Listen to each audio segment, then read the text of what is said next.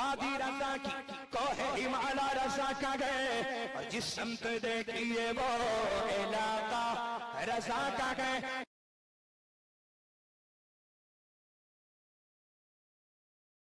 नबीर शफीक मिल्लत मुफ्ती नुमान रजा खान साहब ने सवाल किया है